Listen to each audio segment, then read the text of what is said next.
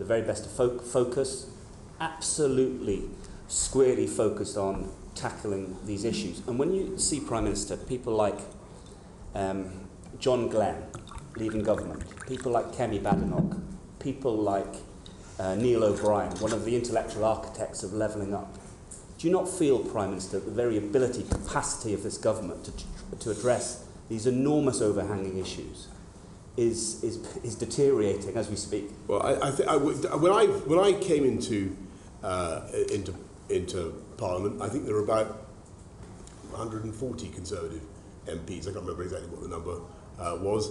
Uh, there, there are now uh, 365 or so, the, the 360 uh, there or there, thereabouts. There is a wealth of talent, Stephen. Uh, and, uh, and, and, order, and they, just order. And, they, and um, uh, uh, we should we should be we should be confident in our ability to.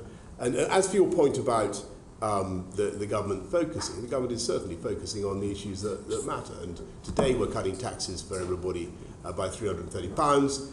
Uh, for, for 30 million people uh, just this day. I, I've talked about the 1,200 pounds. Uh, we've just got half a million people off welfare into work.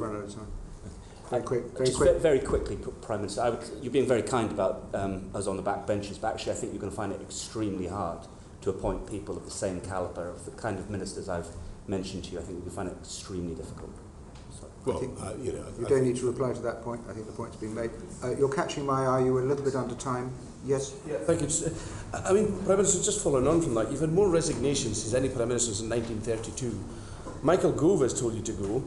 The charade's up, the game's up, really. Will you be Prime Minister tomorrow? Uh, uh, of course, uh, Mr. MacNeil.